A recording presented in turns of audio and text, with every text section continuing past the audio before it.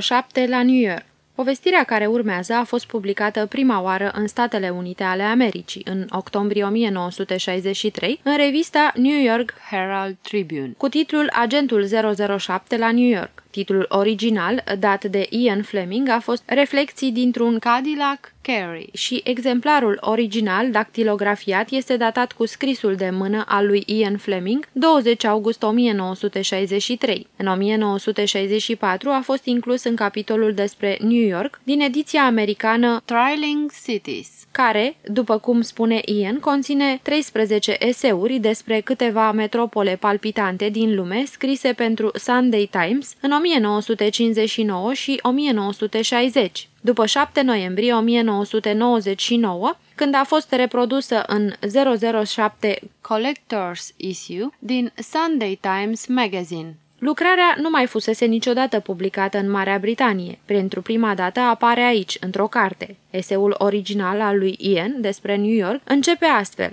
Cel mai puțin m-am distrat la New York și este clar că a fost foarte mult influențat de un număr special al revistei săptămânale Nation din 31 octombrie 1959 și intitulat Rușinea New Yorkului, pentru care Ian a dedicat două pagini din șase publicate în ediția originală. Cape British a cărții este clar că editorii americani au anticipat reacția ostilă a multor americani, nu numai newyorkezi, față de versiunea originală și l-au rugat pe Ian să le ofere o consolare. Răspunsul lui a fost să publicăm și 007 la New York și următorul paragraf introductiv numai pentru ediția din Statele Unite a cărții.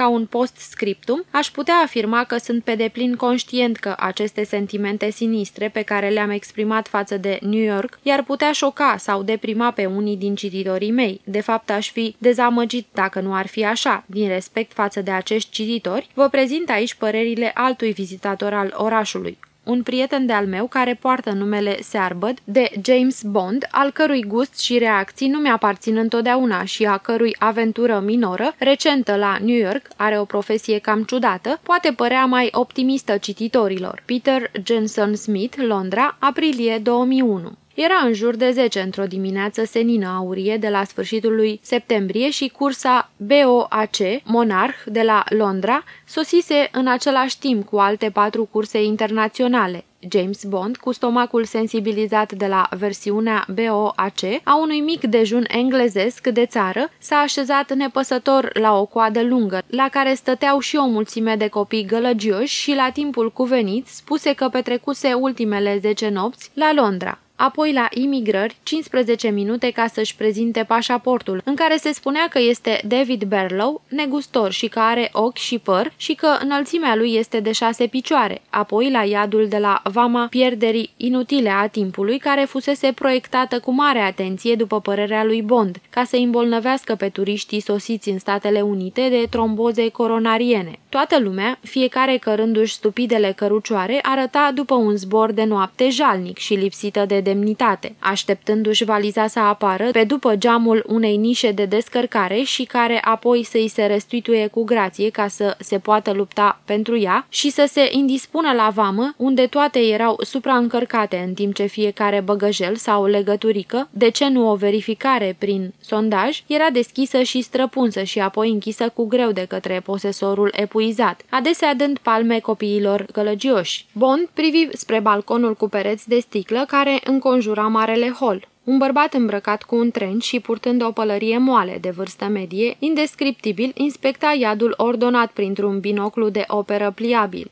Oricine l-ar fi examinat pe el sau, desigur, oricine ar fi folosit un binoclu ar fi făcut obiectul suspiciunii pentru James Bond, dar acum mintea lui conspirativă înregistra pur și simplu faptul că aceasta ar fi fost o bună verigă în mașinăria eficientă a jefuirii vreunui hotel. Bărbatul cu ochelari ar observa bogătașa care își declară bijuteriile. S-ar furișa la parter când ea ar părăsi vama, ar urmări-o prin New York, ar sta lângă ea la recepție, ar auzi numărul de la camera ei comunicat pajului și nu-i mai rămânea decât să opereze. Bond dădu din numeri, cel puțin se părea că omul nu era interesat de el. Omul politicos cu ecuson i-a restituit singura lui valiză, apoi, asudând din cauza încălzirii centrale inutile, o scoase afară prin ușile automate din sticlă în aerul proaspăt binecuvântat de toamnă. Cadilacul de la firma Carey După cum i se spusese printr-un mesaj, îl aștepta deja. James Bond folosea întotdeauna firma aceasta. Aveau mașini bune și șoferi excelenți, o disciplină de fier și discreție totală și nu mirosea a fum stătut de trabuc.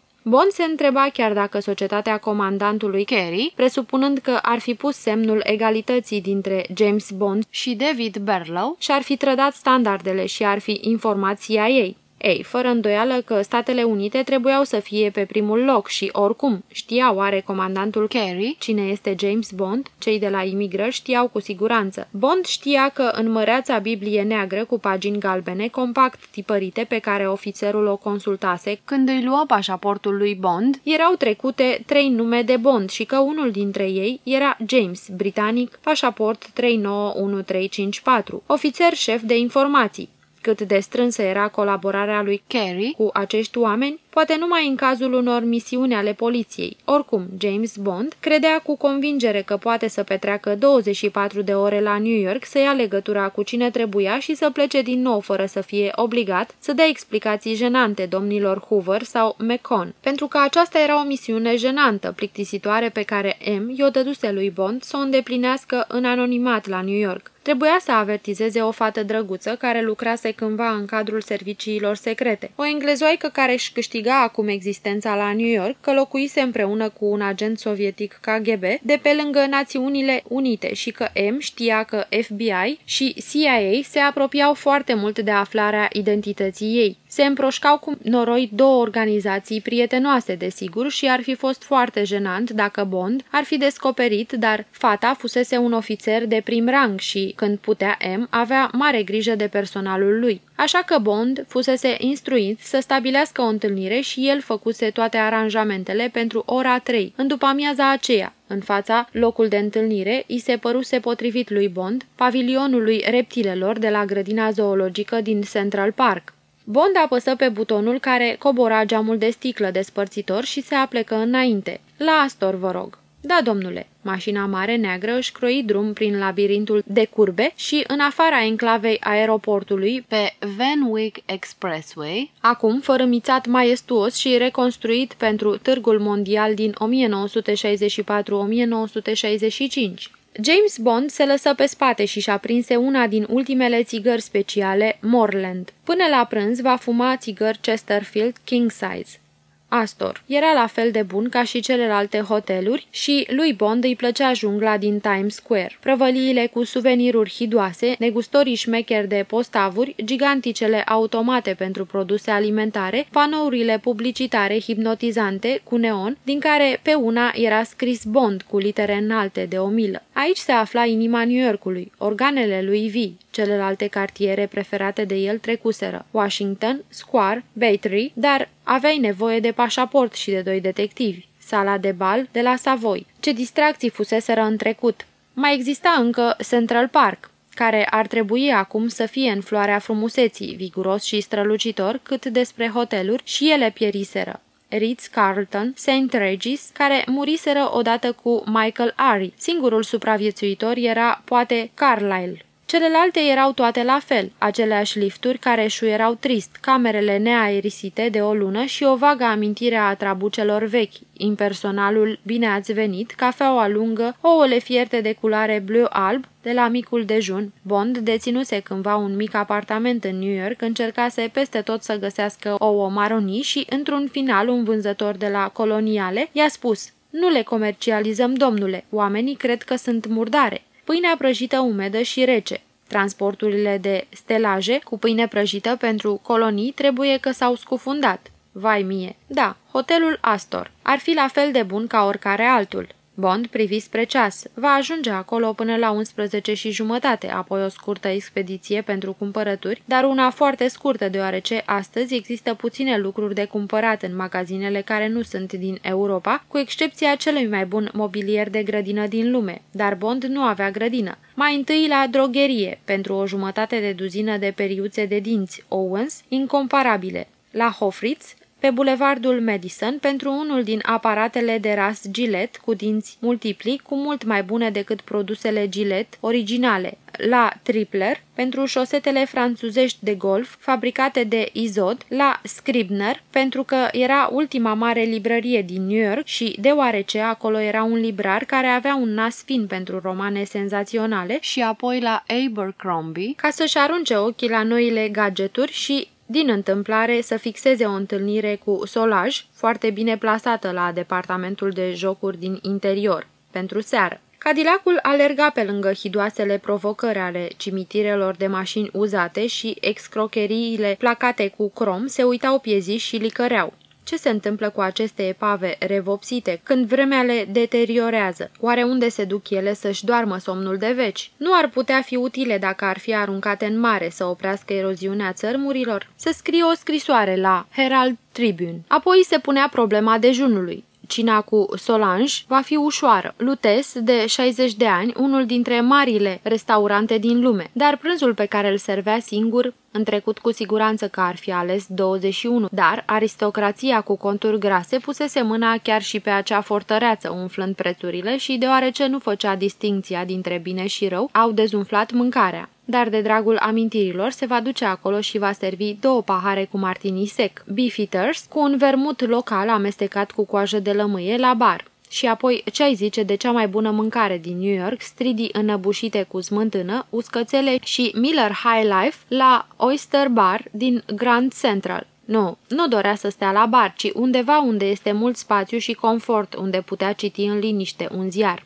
Da, asta era. Sala Eduard de la Plața, o masă într-un colț. Nu-l cunoștea nimeni acolo, dar el știa că putea să comande ce mâncare dorea, nu ca la Chambord sau la Pavilion, cu vinul lor enervant și mâncărurile lor și, în cazul celui din urmă, cu miasma a o sută de mirosuri de parfumuri pentru femei, care să-ți zăpăcească cerul gurii. Va mai servi un martini sec la masă, apoi somon afumat și ouăle jumări speciale pe care el îi învățase odată să le facă. Notă. Ouă jumări James Bond pentru patru persoane. 12 ouă proaspete, sare și piper, 150 de grame de unt proaspăt. Spargeți ouăle într-un castron, bateți-le bine cu o furculiță și codimentați. Topiți 100 de grame de unt într-o tigaie mică de cupru sau o cratiță cu fundul gros. După ce untul s-a topit, turnați ouăle și lăsați-le la foc foarte mic, amestecându-le în permanență cu un tel mic. Când ouăle sunt încă mai moi decât ați vrea să le puteți mânca, luați tigaia de pe foc, adăugați restul de unt și continuați să le bateți cu telul o jumătate de minut, adăugând arpagic tăiat fin sau verdețuri fin tocate. Serviți pe pâine proaspăt prăjită cu unt, pe farfurii de cupru, numai pentru prezentare, cu șampanie roz și cu muzica în surdină. Am încheiat nota. Da, sună bine. Va trebui să-și încerce norocul cu somonul afumat. De obicei, la sala Edward, găseai somon scoțian, nu prea gros tăiat, uscat și fad, precum cel canadian, dar nu știi niciodată ce să spui de mâncare americană. Atâta timp cât pot servi antricoate și fructe de mare, restul se poate duce dracului. Și totul este congelat mult timp, probabil într-o morgă comunală, alimentară vastă încât toată savoarea dispare din toată mâncarea americană, cu excepția celei italiene. Totul are același gust, un fel de gust alimentar neutru. De când nu s-a mai servit oare într-un restaurant din New York un pui proaspăt nu congelat, un ou proaspăt de țară, un pește prins în ziua respectivă? Există oare la New York o piață în adevăratul sens al cuvântului, ca halele din Paris și piața Smithfields din Londra? unde poți vedea și cumpăra produse proaspete? Bond nu auzise de vreuna. Oamenii ar spune că nu este igienică. Deveneau americanii obsedați de igienă în general, prea conștienți de insecte? De fiecare dată când Bond a făcut dragoste cu Solaj, într-o perioadă în care se relaxau unul în brațele celuilalt, ea se retrăgea în baie pentru un lung sfert de oră și după aceea urma o lungă perioadă de timp când nu putea să o sărute deoarece făcuse gargară cu TCP, Notă, lichid ușor antiseptic. Am încheiat nota. Și tabletele pe care le lua, dacă răcea, erau suficiente să te vindece de dublă pneumonie. Dar James Bond zâmbi gândindu-se la ea și se întreba ce vor face în seara aceea în afară de a merge la restaurantul Lutes și Dragoste. Din nou în New York găseai totul. Auzise, deși nu reușise niciodată să dea de urma lor, că puteai vedea filme porno color cu sonor și că viața sexuală a cuiva se schimba după aceea. Asta da experiență pe care să o împărtășești cu Solaj. Și barul acela și el încă nedescoperit, despre care Felix Leiter îi spusese că este locul de întâlnire al sadicilor și masochiștilor de ambele sexe. Uniforma era compusă din jachetele negre de piele și mănuși de piele. Sadiștii poartă mănuși sub cureaua de la umărul stâng. Masochiștii le poartă în dreapta, ca și în cazul locurilor pentru travestiți de la Paris și Berlin, ar fi amuzant să te duci doar să vezi, în cele din urmă s-ar duce bineînțeles la Ambers sau să asculte muzica de jazz preferată a lui Solaj și apoi înapoi acasă pentru mai multă dragoste și gargară cu TCP. James Bond zâmbi în sinea lui. Ei se înălțau spre culmi peste Triborough, acel pod extraordinar de frumos din bătăliile umăr la umăr din Manhattan, îi plăceau să-și anticipeze plăcerile, aștepta cu nerăbdare exaltările furate dintre orele de lucru, îi plăcea foarte mult să viseze cu ochii deschiși la ele, până la cel mai mic amănunt. Și acum își făcuse planurile și îl încântau toate perspectivele. Sigur că lucrurile ar putea merge prost, ar putea fi nevoie să facă unele schimbări, dar nu ar conta. În New York găsești totul. New Yorkul nu are totul. Consecințele lipsurilor pe care le avea orașul au fost foarte supărătoare pentru James. După ouăle jumări în sala decorată în stil eduardian, totul mersese cât se poate de prost și, în locul programului de vis, au fost convorbiri telefonice urgente și jenante cu cartierul general de la Londra și apoi, numai printr-un noroc extraordinar, o întâlnire nepusă la punct la miezul nopții lângă patinoarul de lângă Rockefeller Center,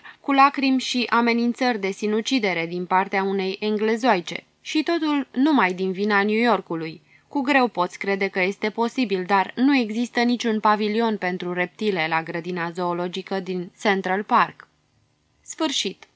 Ați ascultat Caracatița de Ian Fleming Lectura Cristina David Mai 2011